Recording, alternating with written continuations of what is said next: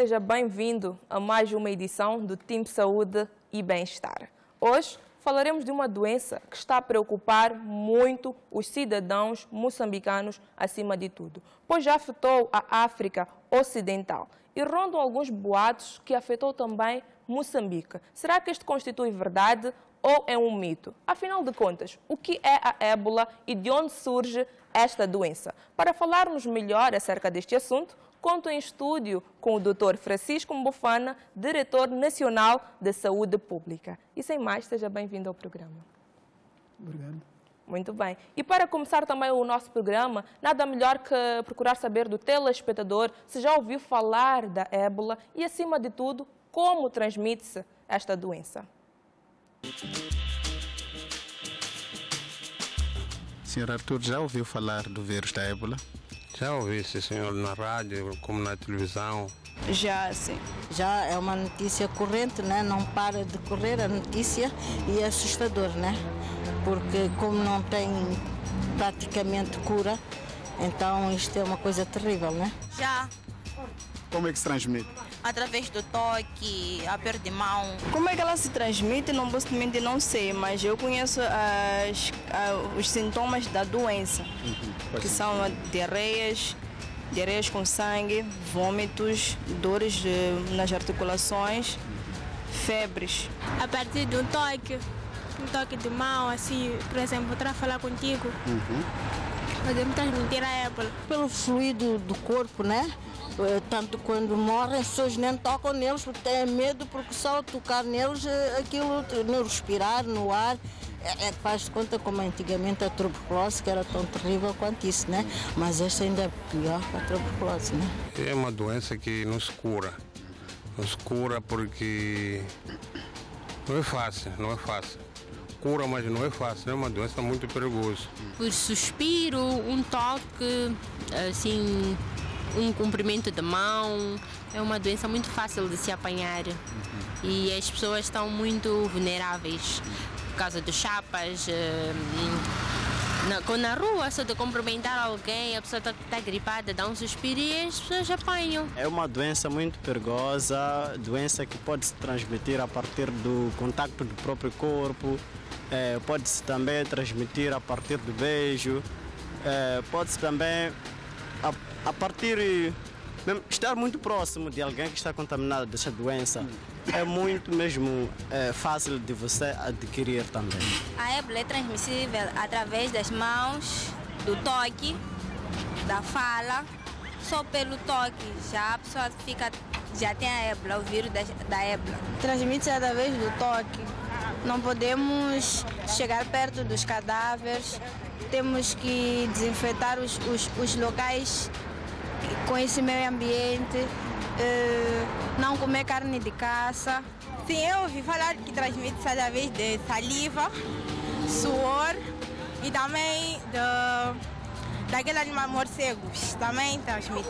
De fato, eu já acompanhei isso. Pensei que fosse uma coisa, uma brincadeira. Eu só assistia nos filmes, filmes americanos. Agora, isso já, essa epidemia já está a contaminar aqui em África. E ouvir rumores que já está aqui em Moçambique. Já chegou. Epá, nós que vamos de chapas. Estamos mal. Realmente são muitos os sintomas, as formas de transmissão da ébola. E nada melhor que o meu convidado para esclarecer-nos algumas dúvidas relacionadas a este vírus. E sem mais, uh, Dr. Francisco, o que é a ébola? Mais uma vez, boa noite e boa noite aos telespectadores. Bem, a ébola é uma doença grave transmitida por um vírus, o chamado vírus do ébola. E esta doença foi descrita pela primeira vez em 1976 em indivíduos que tinham estado durante muito tempo e em contato com animais selvagens em florestas densas do ex-Zaire, que é a República Democrática do, do Congo. Então, por esta informação, já podemos dizer que é uma doença que ocorre em animais e pode ser transmitida para o homem através do contato com esses animais, quando manipula-se esses animais e secreções contendo o vírus passarem para o homem, assim ocorrem os primeiros casos da doença nos homens. Agora, uma vez que temos um caso no homem, a transmissão é feita através de contato com secreções Ok. e com sangue. E aqui, quando estamos a falar de secreções, estamos a falar de, da urina, estamos a falar do suor, estamos a falar da saliva, estamos a falar dos vômitos, estamos a falar de, das fezes quando o doente tem, tem a diarreia. Agora, vimos aqui na reportagem preocupações em relação à transmissão no chapa. O que, é, o que é muito importante também ah, esclarecermos, porque nos dias de hoje são muitos os cidadãos moçambicanos que precisam de um transporte semi-coletivo. E hoje em dia temos também os vulgo chapas My Love, que também são um risco enorme Sim. para os cidadãos moçambicanos. Felizmente, o vírus do ébola não é transmitido através do ar. Significa que não é com suspiro, não é com tossir que o vírus é transmitido. Então, as pessoas fiquem tranquilas, continuem a utilizar o transporte público, transporte público, seja urbano, seja chapa, porque não há risco de transmissão através do ar. E isso nos eh, tranquiliza, porque normalmente doenças transmitidas por ar são muito mais difíceis de, de controlar. O, o vírus também não é transmitido através de água, através de, de comidas.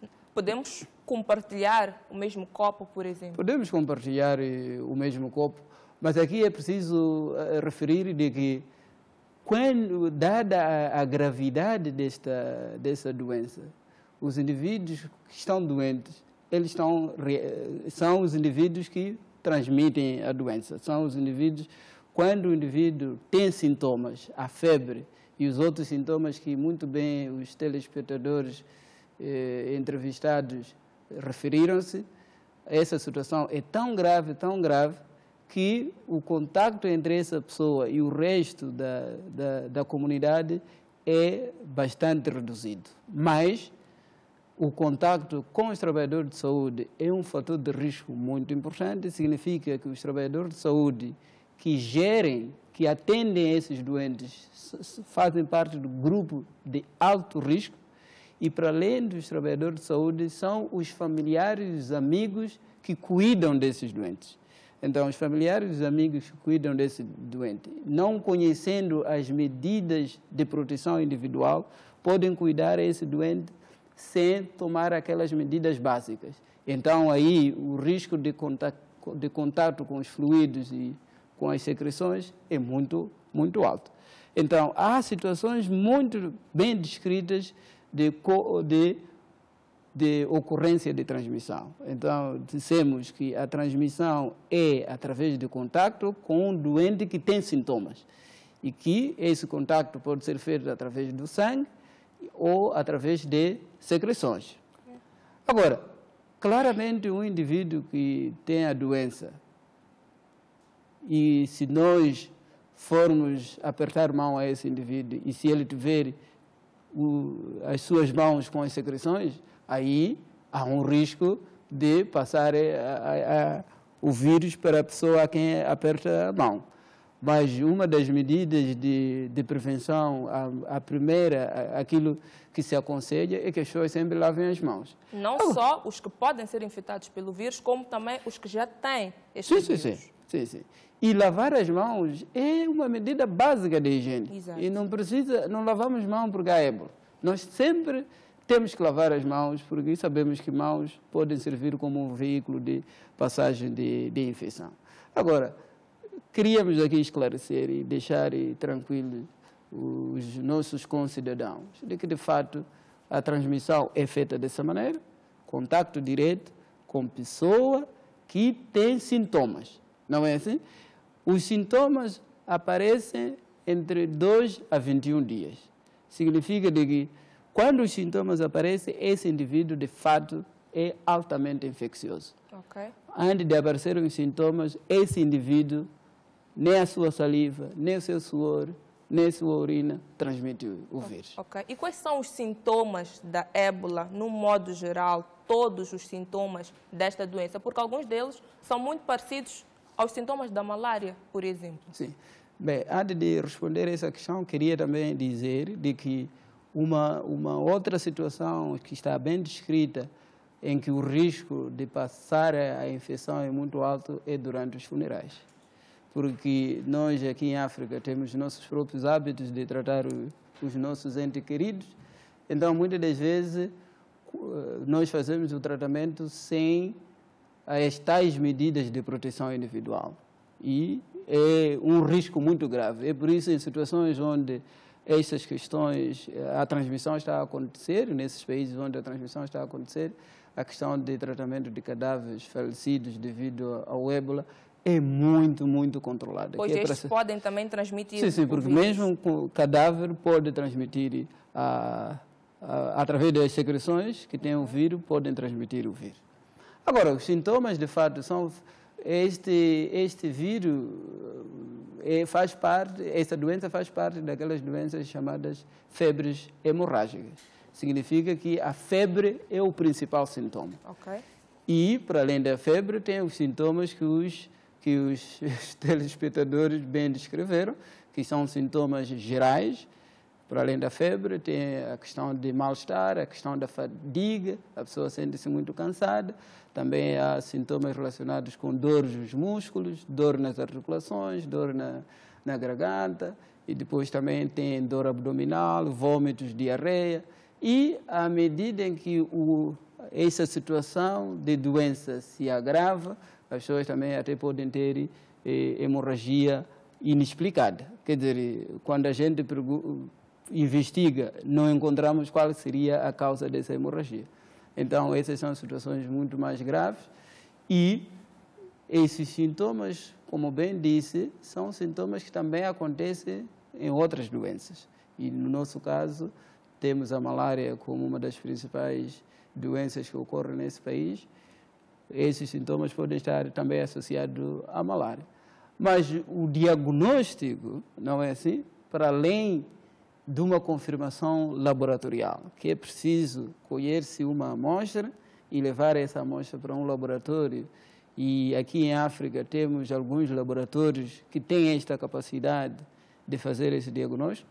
Nós estamos a criar condições para termos essa capacidade, mas neste momento a Organização Mundial de Saúde aconselha os países a enviar em laboratórios que já estão uh, capacitados para fazer esse diagnóstico. Então, o diagnóstico não se baseia só na questão do laboratório. Okay. Também se baseia na história do, do, do, do doente.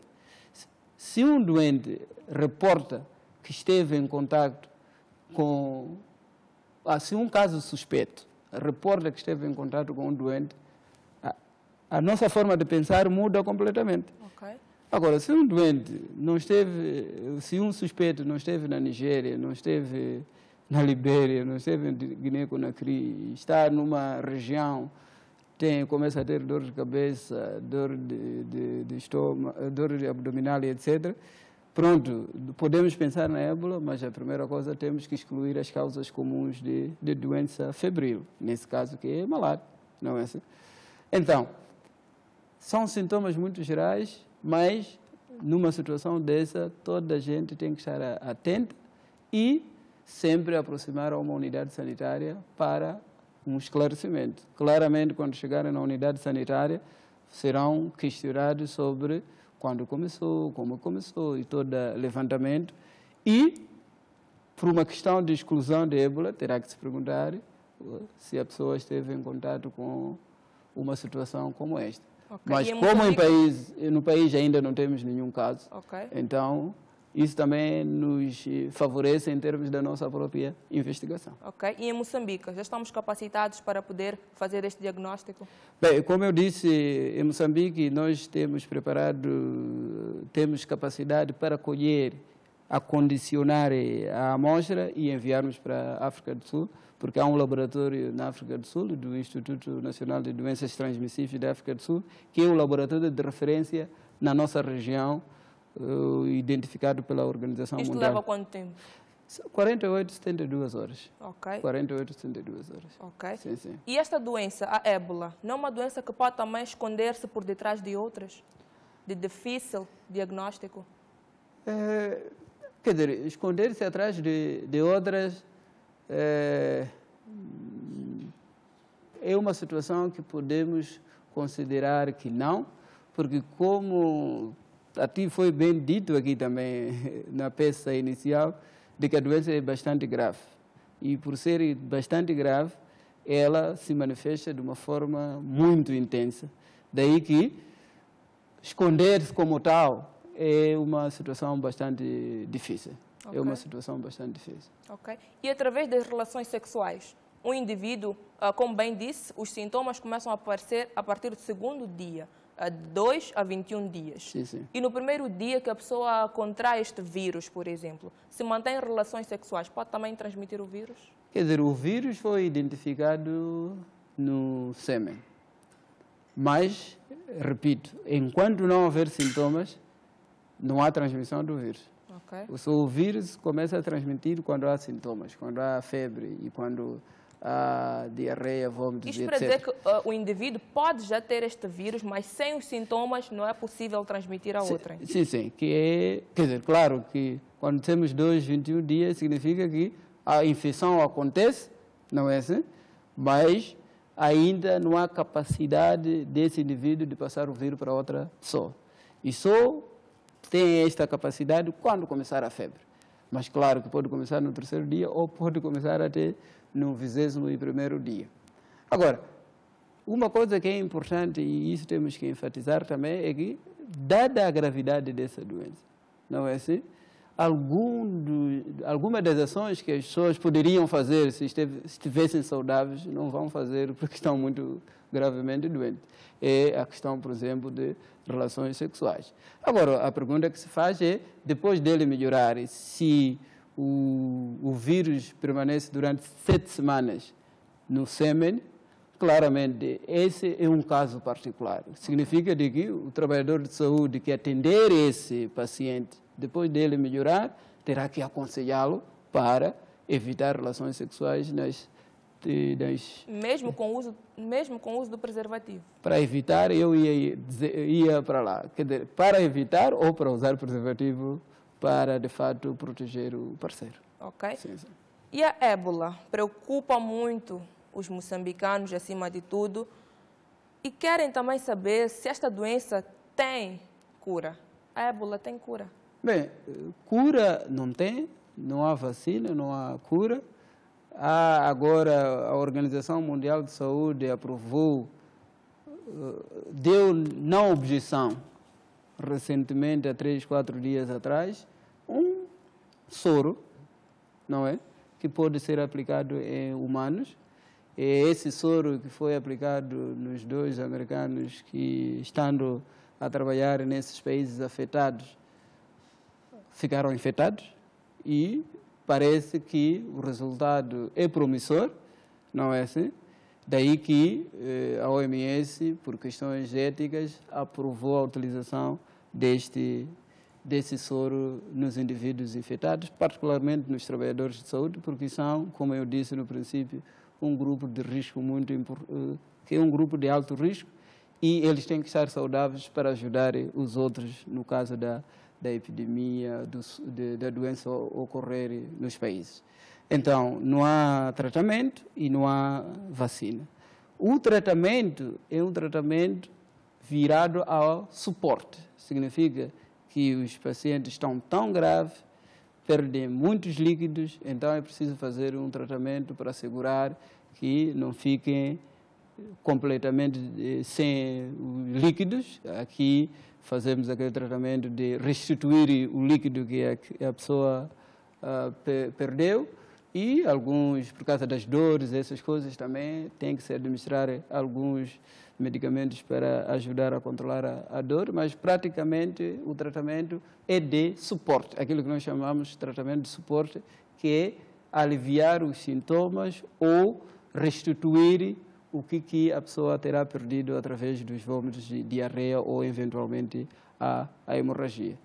Agora, ébola cria medo, cria pânico, não é assim? Mas todos nós juntos podemos controlar a, a, a ébola. Não é uma situação que nós podemos pensar que é incontrolável.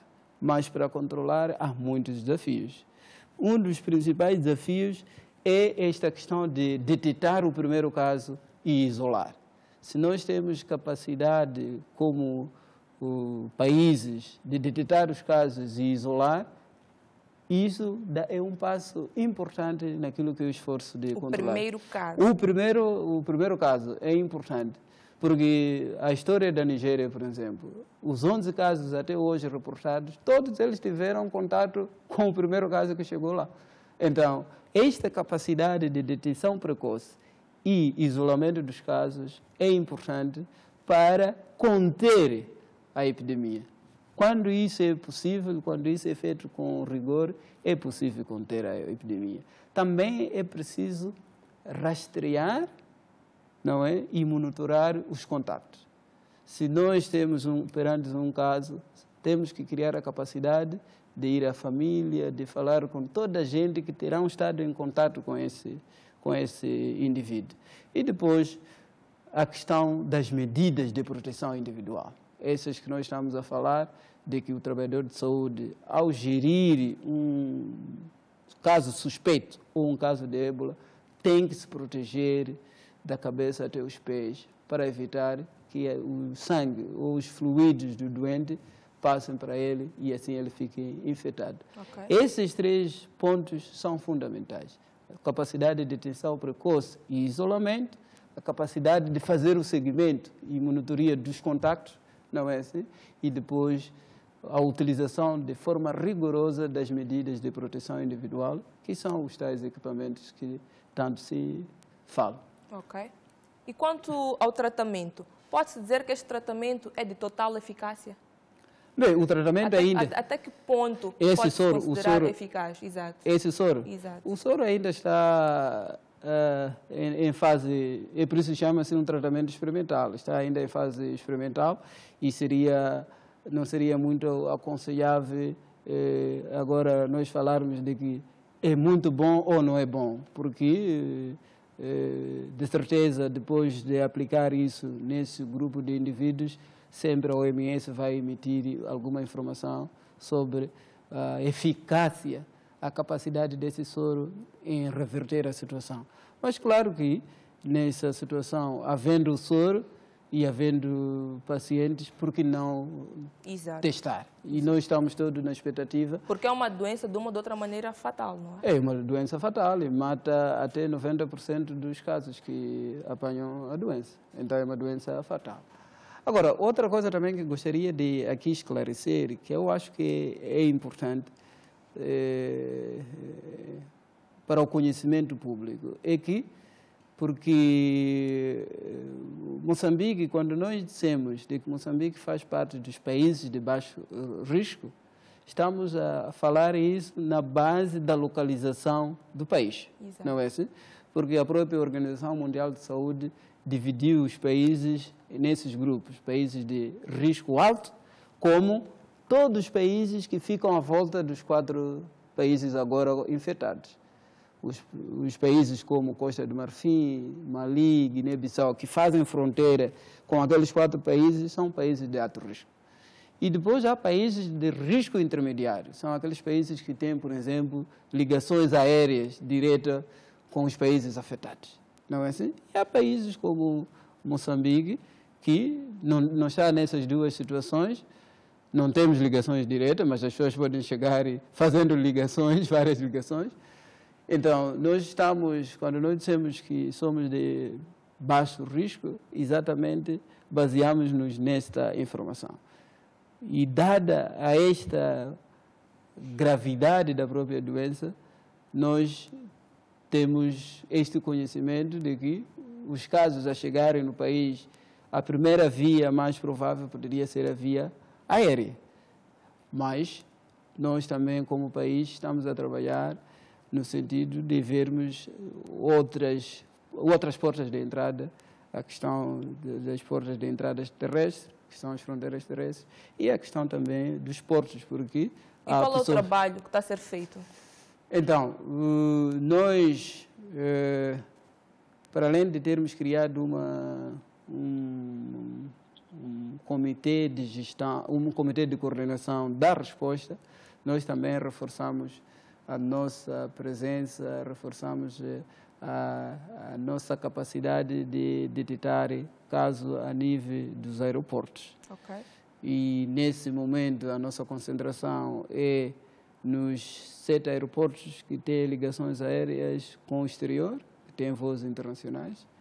E, e nesses aeroportos o que nós fazemos é controlar os passaportes e ver de onde as pessoas vêm, primeiro se vêm desses países, e também, para alguns dos casos, pessoas não sendo daqueles países, mas que estiveram naqueles países, esses indivíduos são questionados sobre se tiveram... Já tiveram alguns casos do gênero? Não, tivemos casos de pessoas que vêm desses países, mas sem alarme, no sentido de que okay. fizemos o interrogatório, recolhemos eh, eh, os contactos das pessoas, demos os nossos contactos e aconselhamos para que, se alguma coisa surgir, para nos contactar e nós também, dentro da nossa, da nossa intervenção, contactamos as pessoas para ver se realmente continuam bem ou não continuam bem. E até agora não tivemos nenhum, nenhum, nenhum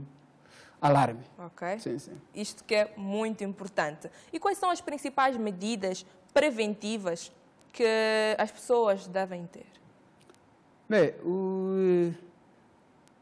uma coisa que as pessoas têm que fazer, isto estou a falar em situações de haver casos. Ok.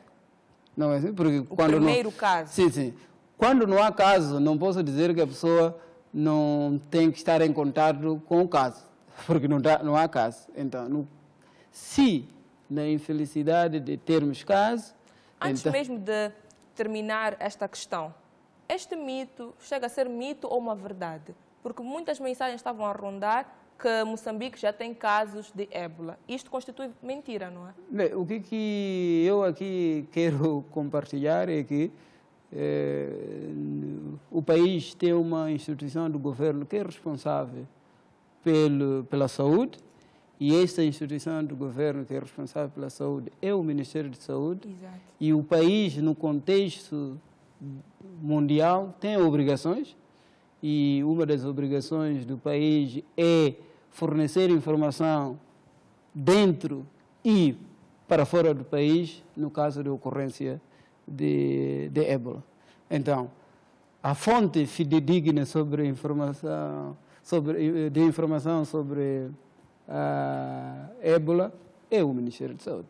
Então, o Ministério de Saúde ainda não veio ao público para dar tal informação.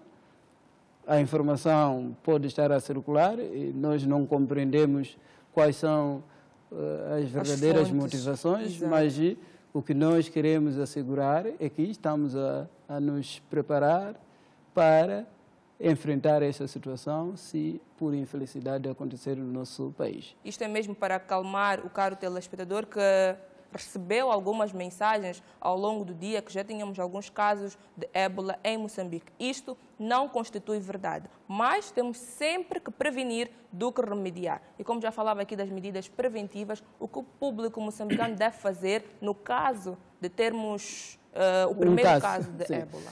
O, o, primeiro, a primeira uh, ação que temos que fazer é não estar em contato com esse indivíduo. Okay. Não é assim? Claramente que esse indivíduo é nosso familiar. Às vezes é difícil, mas nós temos que ter a consciência de que estar em contato com ele, nós estamos em maior risco de estar em, em, em contato com o sangue ou as secreções desse Exato. indivíduo. Então, essa é a primeira coisa que é preciso fazer. E a segunda coisa que é preciso fazer é não estar em contato com a roupa desse indivíduo. Não estar em contato com, por exemplo, os lençóis e a roupa de cama que é esse indivíduo. Isto quer dizer, para um casal, devem mudar, não devem dormir no mesmo quarto. Deve ficar isolado o indivíduo. Bem, é, isolar esses casos é responsabilidade também do Ministério de Saúde. Okay. Quer dizer, nesses casos, que estou dizendo, quando o indivíduo, a situação está sendo gerida a nível de, de casa, né? Exato. É preciso também estar muito atento a esses sintomas. Se esses sintomas surgirem, tem que ir ao, à unidade sanitária. E depois, quer dizer, apesar das possibilidades no nosso contexto serem muito baixa a transmissão entre animais e as pessoas, claramente aconselhamos que as pessoas não andem ali a brincar com esses animais que são conhecidos como estarem ligados com a doença. Animais Mas, de caça. Animais de caça, sim, sim, animais, animais selvagens. Mas, basicamente, temos essas medidas de evitar o contato e ações tendentes à procura de cuidados de saúde quando temos o sintoma. E isso é o que as pessoas poderão fazer para evitar o contágio. Agora, o que as pessoas têm que fazer é lavar mãos. Porque de lavar mãos tem mãos. que sempre lavar, não é? Porque e não só por causa da ébola, não é só por causa da ébola, é também para assegurar que, de fato, nós temos a higiene individual bem eh, assegurada. Nós temos eh, já em, em fase final, para, já pronto para a produção, uma série de cartazes. Okay. E esses cartazes dizem, por exemplo, claramente o que deve fazer e, o que, dizem o que fazer. não deve fazer. E esses aspectos que eu me referi estão claramente aqui eh, mencionados lave sempre as suas mãos. O que deve fazer? Lave sempre as suas mãos com sabão. Cozinhar bem a comida é também uma coisa geral, não é só a questão da ébola. Se tiver sintomas, vai à unidade sanitária. Fale com todos sobre a ébola, mas fale de forma correta, para que as pessoas tenham informação, porque quanto mais informação as pessoas tiverem, melhor preparado o país poderá estar para enfrentar. Agora, estas mensagens que estão a passar. Não é desta maneira que não é desta falar, maneira que é? deveríamos falar. Exato. Uh, Posso pegar uh, para, para poder uh, ilustrar sim. para o telespectador poder ver yeah. o que então, deve e o que não deve fazer yeah. no caso de sim. ébola. Então, do lado verde é o que deve fazer e do lado vermelho é o que não deve fazer. A primeira barra do lado ver Pode ficar à vontade. Posso ficar? Exato. Yeah. Do lado vermelho, a primeira é que do lado, é, é, então temos esse conjunto de, de informações. Do lado vermelho é aquilo que não devem fazer okay. e do lado direito é aquilo que devem fazer. E aqui, do lado daquilo que não podem fazer é não toque pessoas com sinais de ébola ou que tenham morrido de ébola. Okay. É o que nós falamos aqui. Exato. Não toque em roupas e lençóis de roupa de cama de pessoas que tenham morrido de ébola. Não, não, é, não toque vômitos, urina, suor, saliva de pessoas doentes de ébola. Então, é o que não devem fazer. E, ao fazer isso, estaremos a fazer a prevenção da, do contágio de, de, de ébola. ébola. Do outro lado, lave sempre as suas mãos com sabão, sempre que possível. Muito e isso é é, medidas básicas de higiene que achamos que são extremamente importantes. Então, também estamos a produzir. Muito fato. bem, iremos dar continuidade não é, a, a, estes aspectos, mas tenho indicação que é momento uh, de irmos ao primeiro intervalo e voltaremos para poder interagir com o caro telespectador.